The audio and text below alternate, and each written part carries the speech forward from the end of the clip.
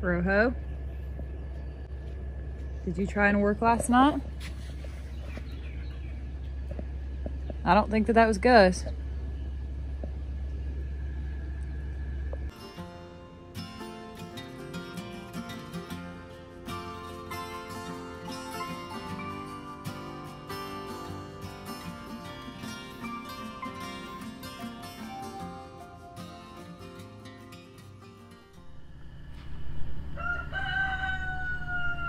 Hey y'all and welcome back to Cajun Country Living. This week we're going to be continuing on installing some of our soffit and we're going to get started cutting out some of the cement fiber fascia boards. And it is so sunny out today, but we can't complain because at least we're not having any rain. That's right. You can buy these cement fiber fascia boards or fiber cement. I don't know why I keep saying that backwards. Fiber cement fascia boards at like Home Depot or Lowe's or one of those places but they're expensive like everything else. And we have a lot of this scrap material left. And we have three sheets that are a full 10 foot. So we're going to be able to uh, sacrifice yeah. these long sheets to turn them into trim, save some money, plus we won't be wasting so much material. And we added it up and we should probably get almost the whole house out of these three 10 sheets. And that's without us making a mistake. So we'll see if we can or not.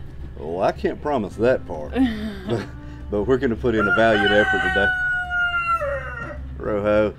Y'all pardon us, Lewis and Rojo have been at it this morning.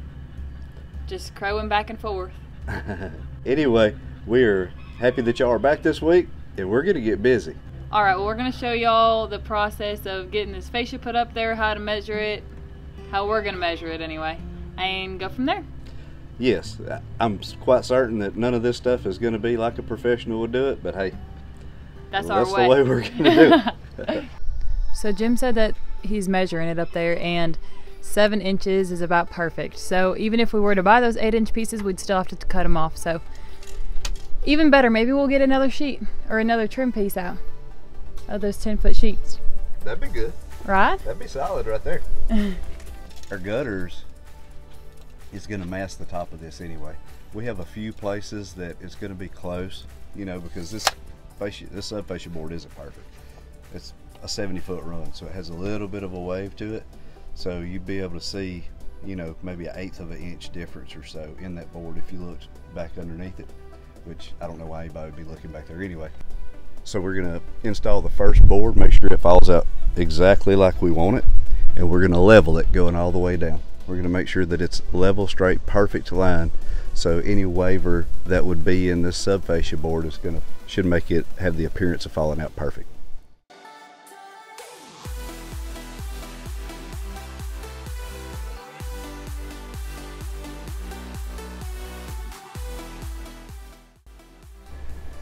We are going to cut all three sheets at the same time because our saw blade can cut all three sheets so why not go ahead and get more for bigger bang for our buck isn't that the term I didn't hear you but I'm sure that's right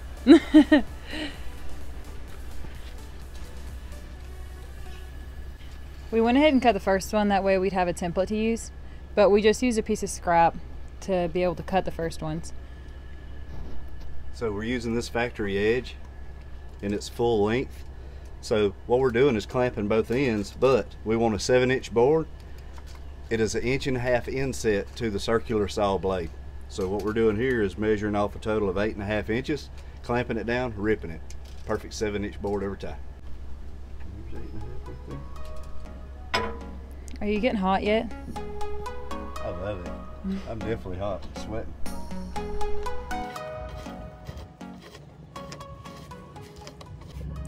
So whenever Jim used the word inset earlier, in case you don't know all the specific terminology like I've had to learn, that means that right there where it shows where you're gonna cut it. Thank you. Vanna White. Distance that the saw blade needs to be able to butt up against something to be able to cut is an inch and a half.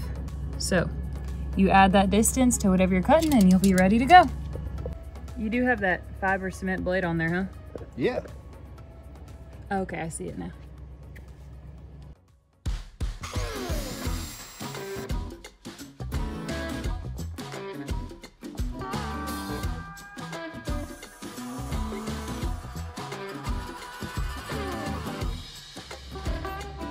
All right, just like store-bought. Look at that factory handmade DIY edge going on. Just like store-bought, only cheaper. That's what everybody wants. Store-bought but cheaper.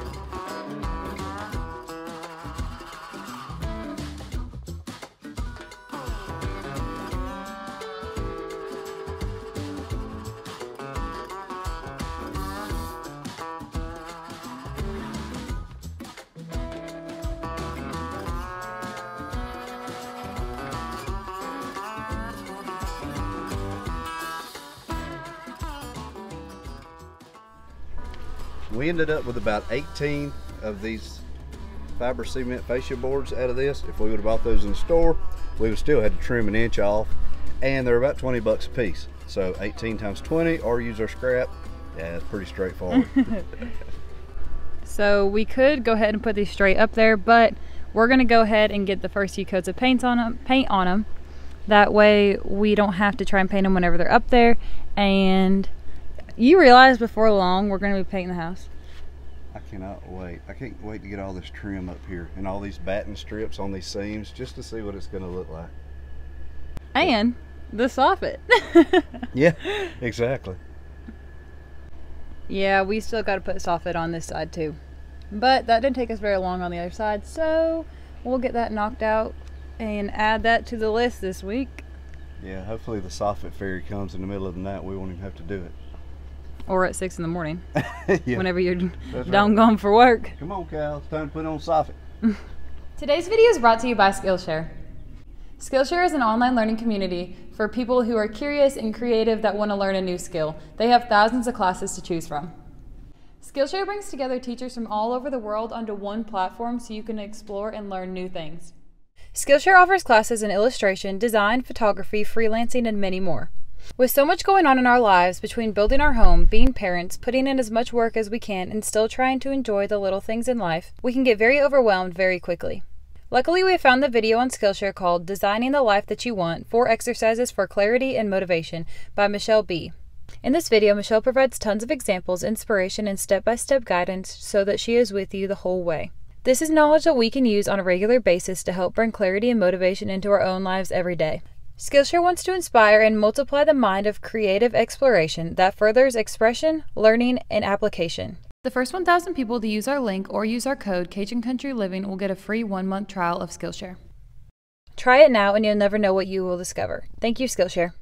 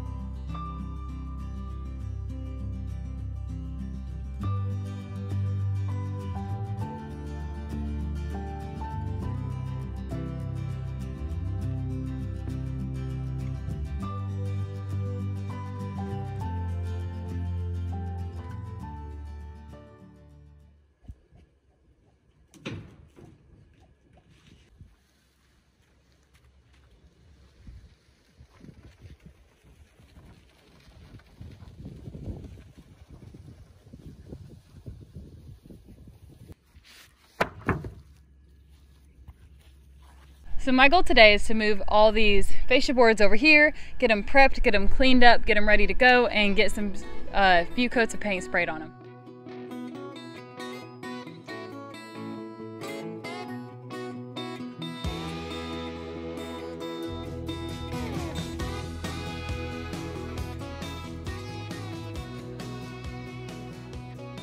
So now all the boards are laid out where I'm going to be painting them at. I need to go through and make sure there's no rough edges along the lines and just kind of sand those spots off. Then I'll be ready to paint. So all I'm doing is taking off this rough edge right here. As you can see, this one's actually a factory edge and you can see the difference of how this one looks a lot cleaner and this one does not. So I'm just taking a little piece of sandpaper and I'm just running it right along the edges there, wipe it off, and just like store-bought.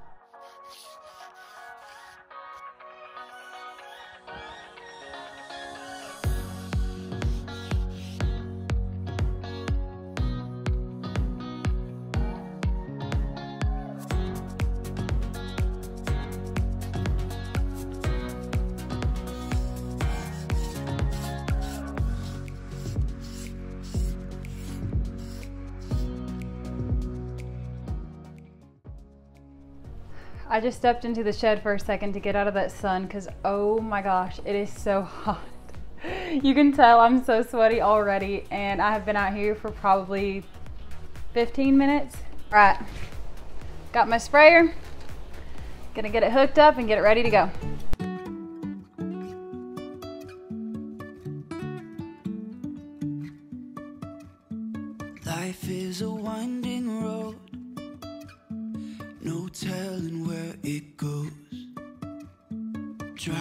Through days and nights, won't stop for traffic lights.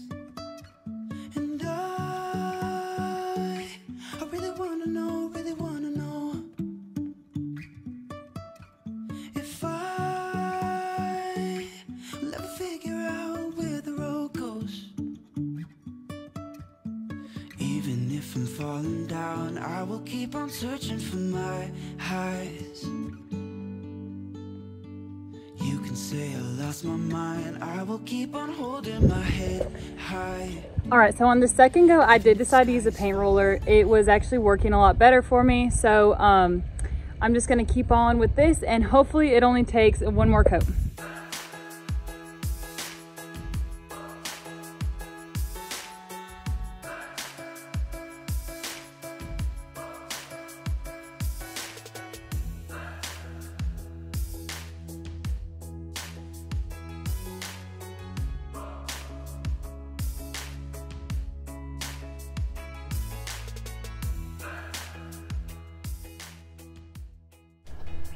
Okay, so everything is painted white.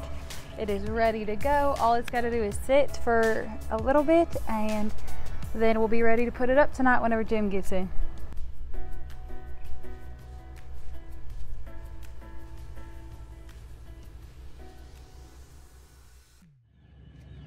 Inspector's on the job today. Sitting down on the job, huh?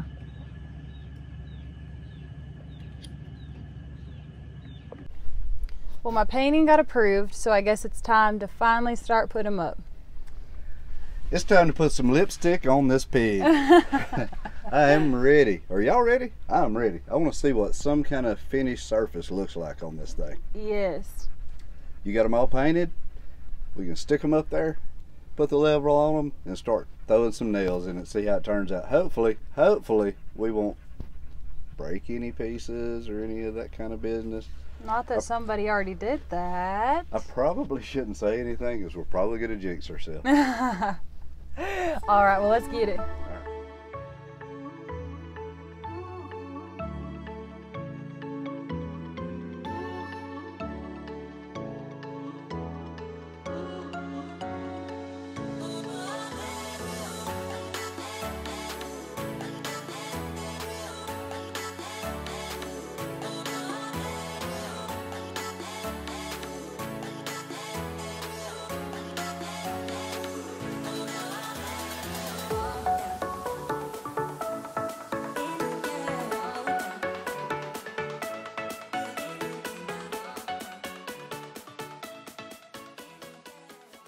All right, honest opinion. I need you to come back here and look at it and see what you think. I think that it looks great. Like it? I love it.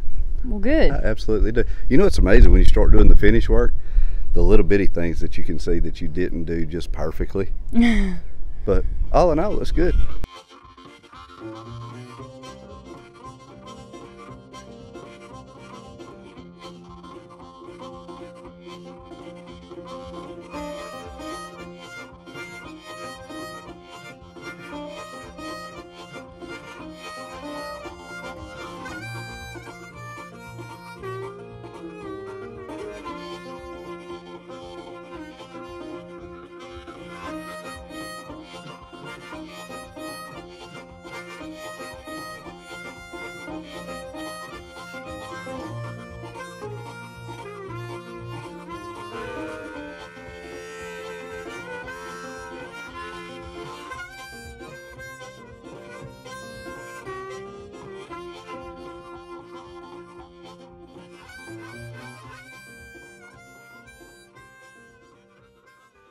All we need is this little piece right here. So, you gonna run and cut that for me? I'll take care of it right now.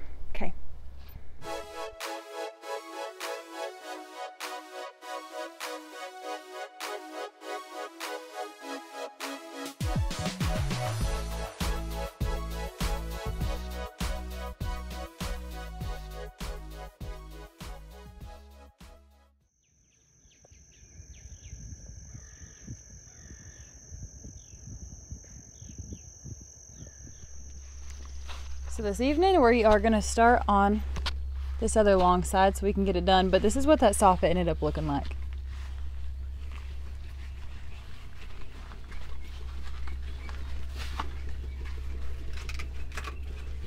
So obviously there's the piece. We did not finish this corner.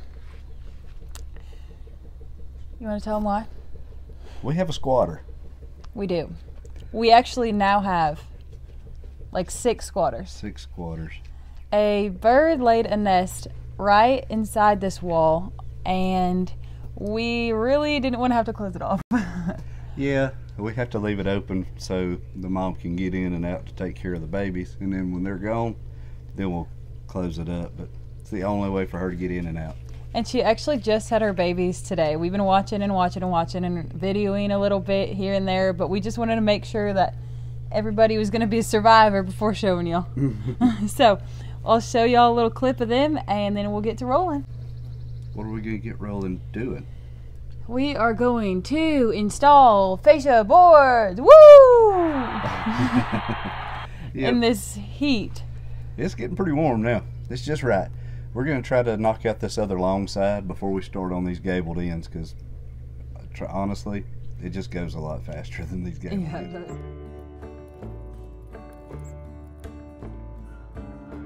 When the sun's going down, no stars in the sky. I'ma head down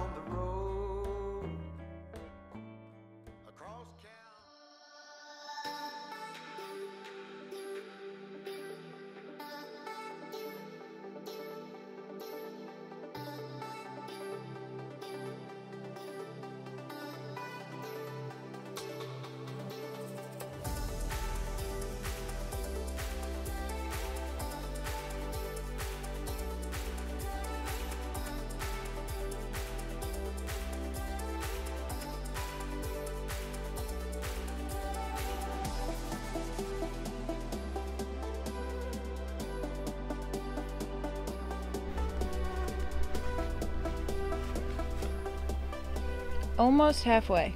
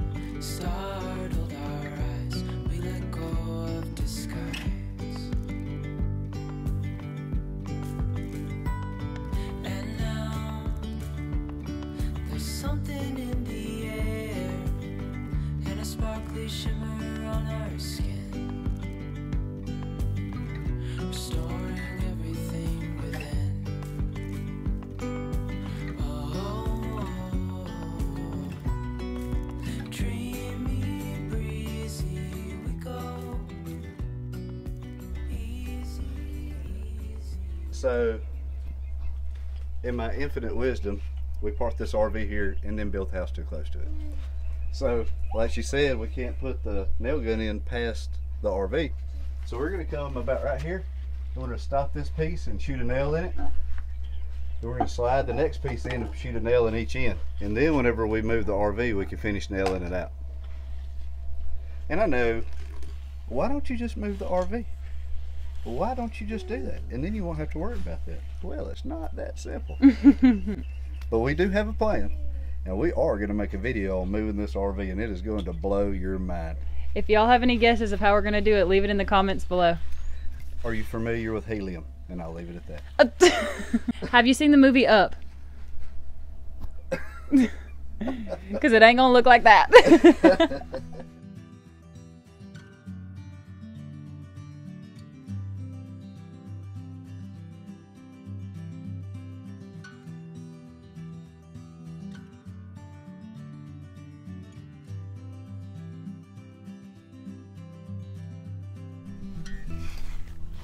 Well, From the catbird seat, it looks good. It looks really good. the catbird seat. Yeah, I, I don't know why I say those little sayings like from the catbird seat, and as hard as woodpecker lips, or some of the other things that I say. I don't know, but I love it. I don't know why I say it, but I do. And here is the result.